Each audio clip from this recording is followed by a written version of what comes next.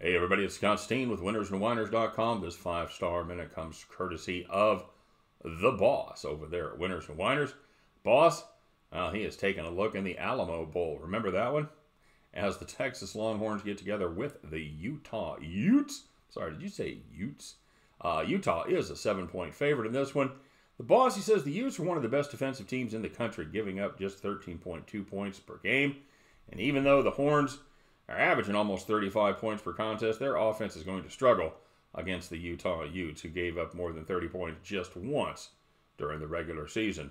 Uh, Texas averages 172 rushing yards per game, but they're also going to struggle to move the ball on the ground against Utah, who have the best re- uh, rush, excuse me best run defense in the country, holding opponents to 70.3 rushing yards per game.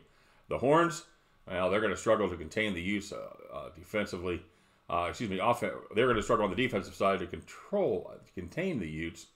Um, because Utah, well, they average 235 and a half yards passing per game, and they are poised to have a big game against a struggling Texas secondary. Longhorns also weren't great against the run, and while the Utes, they've been playing significantly better than the Longhorns on both sides of the ball, expect them to put Texas away very quickly. So get yourself down on the Utah Utes minus the seven points. And at the end of this contest, you can join the boss as you pick up your winning tickets and head back to the window.